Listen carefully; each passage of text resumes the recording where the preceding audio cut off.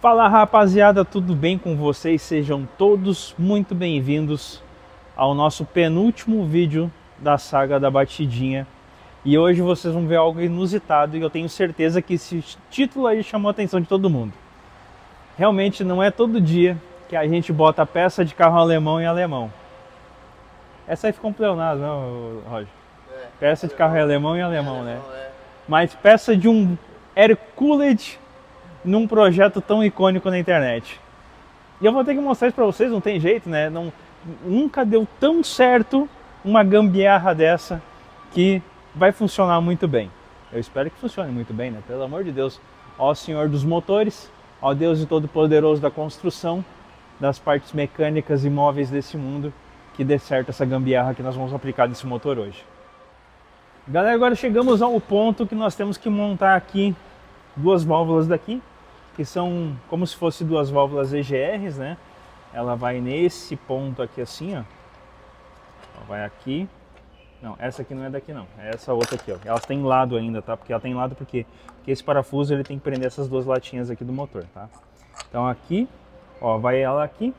E aqui mais para baixo nós temos esses tubos d'água aqui, ó, que vão nessa posição aqui e aqui.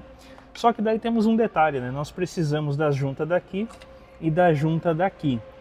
E essas juntas, na hora que o Diego desmontou lá, eu não sei se desmontou com carinho ou não, mas ele estragou a juntinha dele, né? Então o Diego hoje, nesse exato momento, tá com a junta dele toda rompida. Então, como o Diego tá com a junta dele maltratada e judiada, nós temos que dar um jeito numa junta nova para ele, né? Para poder deixar ele vedado de novo, né? Porque nesse momento ele não tem vedação nenhuma lá na, no orifício do Diego, né? Então, Diegão, ninguém tem essa junta no Brasil, não dá tempo de chegar de fora. Eu tive uma solução um pouco mais criativa. Eu vou mostrar isso para vocês agora. Bom, como eu falei para vocês, tá aqui a válvula EGR, né? A válvulazinha, olha só como é que ela tá. E essa aqui é a junta do escapamento do Fusca, tá? E olha só como ela encaixa perfeita aqui. Vamos ver se foca ali, né? Olha ali, pessoal. Olha como ela encaixa perfeita para fazer a vedação da EGR e, e o do tubinho d'água também. Então, nesse momento, eu vou botar uma vedação muito mais resistente, né, no orifício do Diego ali. Então, o Diego vai recuperar a sua vedação, não vai ficar mais nada vazando aí, Diego. Ó, uma junta boa com papel que aguenta a temperatura, um metal bacana também que vai funcionar. Funciona desde a época dos Fucas, desde a época dos 1970 aí, né? e tá dando certo até hoje, né? Eu tenho dois tipos de vedações aqui que eu separei, ó. Eu não sei como é que tá o buraco do Diego, se está um pouquinho mais largo ou não, mas ó, tem uma que é um pouquinho mais grossa, que talvez satisfaça mais, e essa mais fininha aqui, que faz o trabalho, né? Mas talvez não preencha todo esse vazio que tem por dentro ali. Então, nesse exato momento, agora eu vou decidir qual das duas vai preencher melhor a vedação do Diego aí. E é isso aí. A batidinha está andando e com recursos técnicos criativos que vão funcionar muito bem. Agora chegou o momento de botar as peças de Fusca aqui na batidinha. Olha o quanto esse negócio encaixou perfeito, ó. E olha o tanto que isso aqui veda bem lá dentro. Deixa eu puxar essa câmera mais pro lado aqui, ó. Eu quero mostrar pra vocês lá, ó. Ó, puxa lá. Olha o quanto isso veda bem lá dentro, ó. Fica certinho aqui, ó, dentro do buraco aqui. E agora a EGR vai aqui, né? Olha só. A EGR vai aqui. Aqui ela vai. O parafusinho dela. O outro parafusinho aqui embaixo que encaixou tão perfeito isso.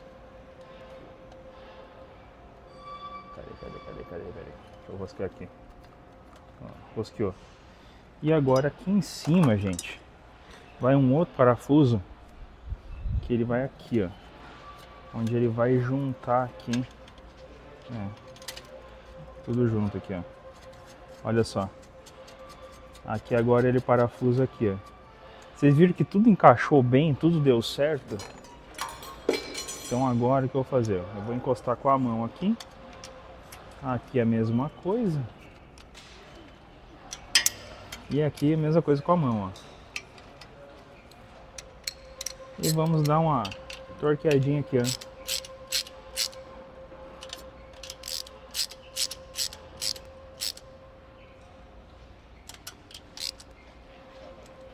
Olha isso. Gente, ficou perfeito o negócio, ficou perfeito. Não dava nem para dizer assim, ah, isso vai dar errado. Não, ficou perfeito, perfeito, perfeito, perfeito, perfeito. O negócio encaixou, deu, assim, muito certo. É uma coisa que tava me preocupando muito. Ninguém tinha essa junta em lugar nenhum. E tá aí, ó. A gente conseguiu fazer com que o negócio ficasse.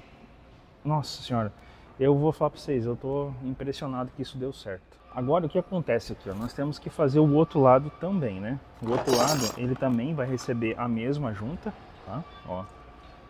Vocês podem ver que o negócio encaixa muito bem.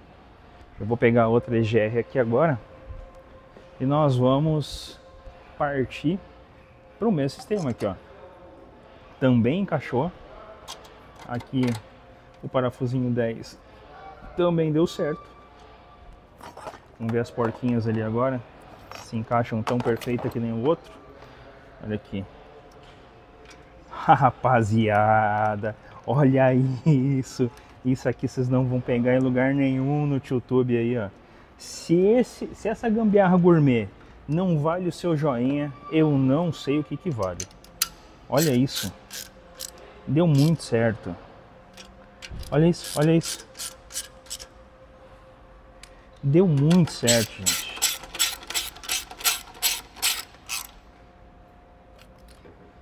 E agora nós temos o outro tubo d'água, né? Que também ele necessita aí de umas juntas especiais, né? Tão especiais quanto o as da EGR.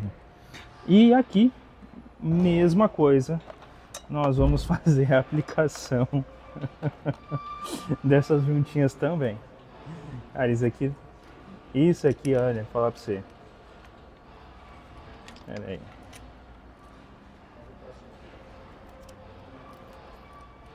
Vai dar certo, vai dar certo, vai dar certo, vamos ver? Nossa, deu certo também. Deu super certo também, gente. Deu muito certo. O negócio deu muito certo. Olha, eu não tô acreditando que isso aqui encaixou tão perfeito. Eu não tô acreditando que encaixou tão perfeito. Vou pegar aqui também.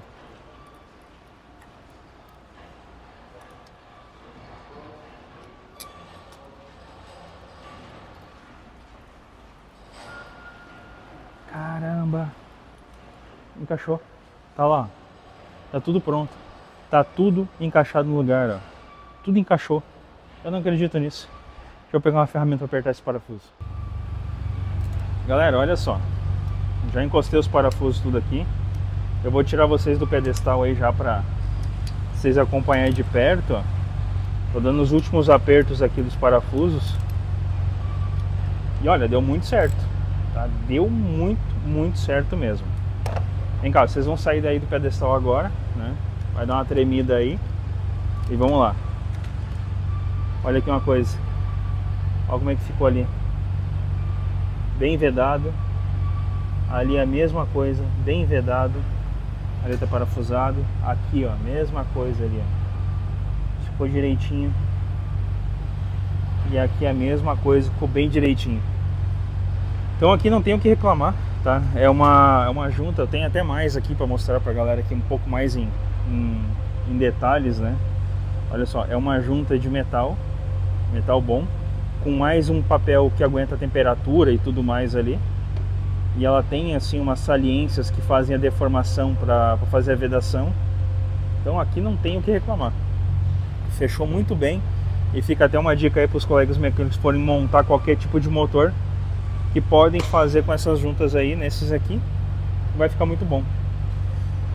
Aí vai ter gente que vai criticar, vai dizer que não é certo, coisa. Eu sei, entendo vocês ali. Quando vocês não têm uma ideia dessa, critica mesmo, é assim que funciona.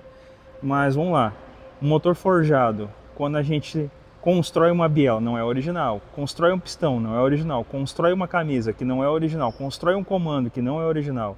E aí, por que, que daí dá certo? Por que, que isso aqui não daria? Hã? Pronto, uma solução rápida, prática e barata aí para o problema que a gente estava enfrentando de falta de juntas, né?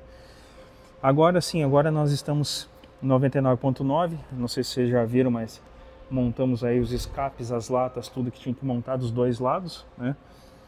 Todos os periféricos estão no lugar. Agora tem que conseguir comprar essas correias aqui, que não está achando lugar nenhum. Tem que conseguir essa solenoide ali também, que não está achando lugar nenhum. Tem que ver se o Diego perdeu lá o que, que ele fez, né? E vida que segue. Eu vou botar o retentor aqui atrás, o volante. Já vou içar na girafa daqui a pouquinho, para a gente começar já a instalar isso no carro. Depois disso feito, aí quero trazer todas aquelas peças pro lado de cá, né? dar uma organizada aqui, né? Vocês vão me acompanhar na organização da bagunça para espalhar essas peças no chão e começar a colocar tudo em ordem aí para a gente conseguir instalar o restinho que falta desse motor. Mas o desafio foi aceito, foi concluído e tá aí o resultado, o motor está montado. E é isso aí galera, chegamos aqui ao ponto de ficar faltando montar isso aqui, né? Isso aqui que nós temos para montar ainda nesse carro. O carro já está aqui, tá desse jeito. O motor tá todo montado, tá na girafa aqui. Nós vamos erguê-lo e começar a instalação desse motor.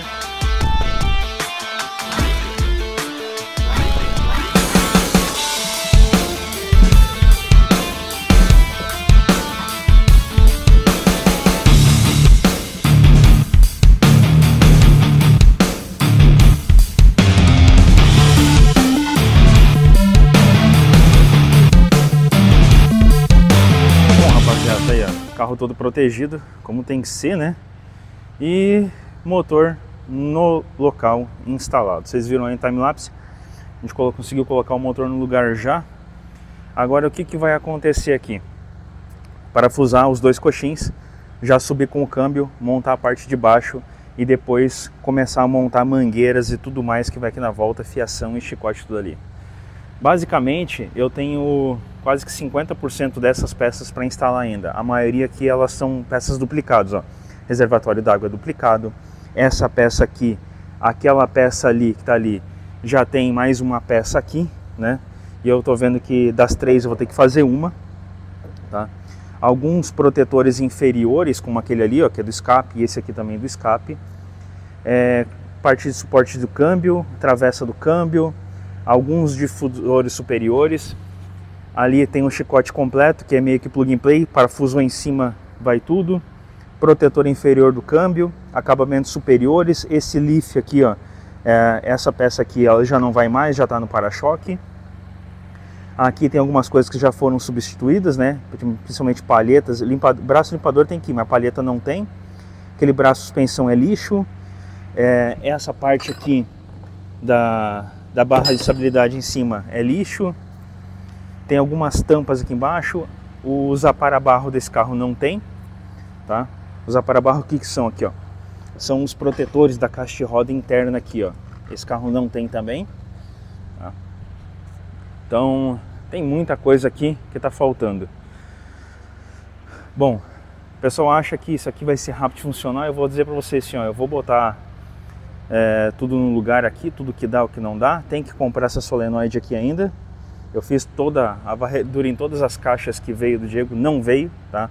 Aqui nós usamos era de uma outra M3 estão fazendo. Não veio nas peças dele. Vamos ver se a gente pega no AliExpress ou importa lá de fora, da gringa, de uma concessionária, alguma coisa, para botar isso a rodar, tá? Aqui tá os conjuntos de radiadores que a gente deu um talento já. Estavam muito piores, a gente desamassou tudo que dava para desamassar esses radiadores, mas eu ainda recomendo mais para frente colocar um conjunto novo, né? O capô ainda tem que ser trabalhado nesse capô, porque o capô ainda não está pronto para ser instalado, então é, basicamente não dá nem para pegar a estrada com esse carro, né? É, e não recomendo pegar a estrada, porque não tem os protetores, se pegar uma chuva ferra com tudo. Tem que instalar toda a parte de ar-condicionado ainda, que estava faltando canos, que eu consegui comprar alguns. Tá faltando instalar toda a parte de direção hidráulica, tem que refazer todos os freios, tem que ver se não vai vazar água nesses conjuntos de radiador. Então, basicamente aqui, pessoal, nós temos aqui muito trabalho pela frente ainda, mas muito trabalho mesmo, e não é pouca coisa. Pode parecer até uma vontade, mas isso aqui realmente é só um louco para encarar. Né? Ou você tem a vida tranquila, dedicada a somente fazer esses projetos, né? E sem ter que controlar uma oficina desse tamanho com esse fluxo de carro, ou você tem que ter problema na cabeça para encarar um projeto desse, um problema desse tamanho. Mas faz parte da vida. Já que tá aí, vambora. Uma das coisas que me alegra muito é ter esse companheiro junto na oficina. E aí, Zeus? Zeus? Tudo bem? Como é que você tá, meu amor? Hum? Esse aqui é meu companheiro. Ele vem aqui pra oficina e me ajuda bastante aqui também, né? Olha só. Zeuzinho. É isso. A oficina tá aí. Olha só, tem carro funcionando ali, tem carro fazendo aqui, tem X6, tem 320, tem X5, tem 550, uma outra X6, 320, tem Q5, tem M6. Na verdade tem duas M6 aqui, ó, fazendo parte de manutenção. Tem muito carro aqui fazendo, tem Mercedes ali. Então, é isso. E aqui nós temos um beosaço aí para terminar.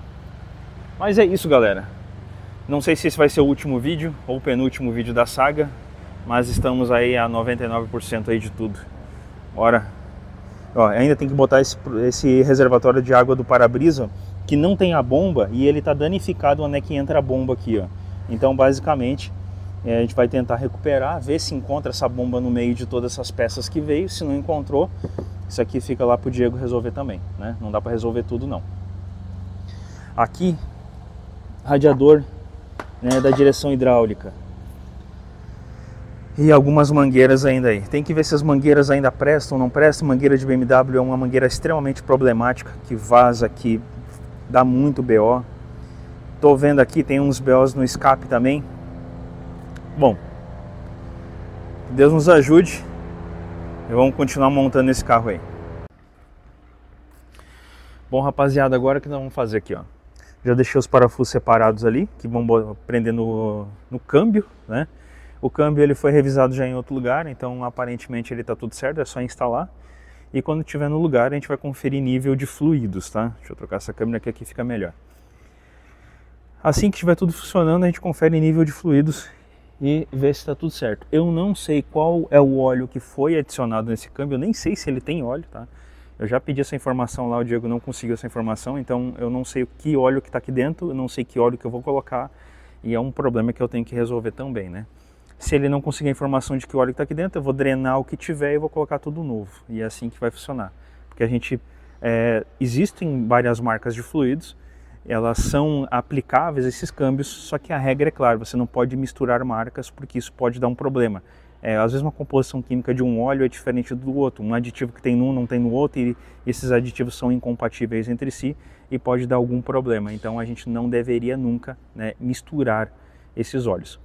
Então por esse motivo que é, se eu não descobrir qual é a, a, a, marca, tudo que for adicionado nesse motor, nesse câmbio, eu tenho que drenar tudo e, e refazer a troca aí completa, né?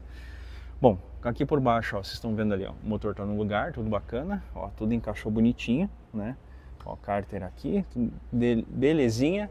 E nós vamos começar aí a montagem desse, desse câmbio no lugar. Vou subir o câmbio, botar a travessa e eu acho que é isso, vida que segue, vamos para cima. Eu tenho que ver aqui atrás também se os coxins que vão segurar a parte de trás desse câmbio estão tudo bom. Ó, o suporte não está aqui, eu não achei esse suporte ali ainda. Bom, esse carro vai ser um desafio porque tem muita coisa que não veio com ele. E o Diego disse que está aqui e não está aqui. E ficou essa, essa coisa aí. Bom, quando você não desmonta, né? E faz tempo isso aqui, é mais difícil de fazer as coisas. Tem muita coisa que não precisava ter saído desse carro. Mas faz parte. Vou botar só esse câmbio no lugar e encerramos aí a nossa saga de hoje. Rapaziada, rapaziada, olha aí, ó, quem tá no lugar. Transmissão dá um lugar. Faltou mesmo. O suporte daqui, Diegão vai mandar pra nós aí. Ó, tá tudo no lugar aqui embaixo. Deixa eu trocar a câmera, fica mais fácil pra vocês verem aí. Ó, aqui já tá tudo pendurado, tudo certo. Agora que nós vamos fazer, vamos baixar ela. Vou começar a passar aí a parte de chicotes e tudo mais. Algumas mangueiras d'água, né? Aqui tá a mangueira, aqui tá o cabo de aço que faz a trava aí do parking aí da, da transmissão e tudo mais. Né? Esse parking aqui tem uma particularidade muito grande sobre as travas do carro também. Se não reconhecer o parking aqui como tem que ser, o carro não trava as portas aí. Beleza, turma? Ah, tem um carro positivo ali que tem que levar lá pra cima ainda. Vida que segue, é isso que nós precisamos, é isso que nós queremos. Tá tudo certo, tudo bacana. E vamos baixar esse carro agora aqui, ó. Vem cá. Ó, deixa eu baixar aqui, ó. O elevador sobe um pouquinho e depois começa a descer aí até o carro chegar lá embaixo para a gente começar a trabalhar na parte de cima. Olha só, aqui já abriu um pouquinho de espaço aí nessas peças, tem muita coisa aqui que é duplicada que a gente vai começar agora a separar o que, vai pro lixo e o que, que não vai. Para aí sim a gente montar o restante da batidinha. Pensa num carro que não é fácil, tá? Não é fácil mesmo. Mas faz parte. Ô Zeus, sai daí de baixo. Que isso, cara? Você vai querer ser esmagado lá, hein? Bom.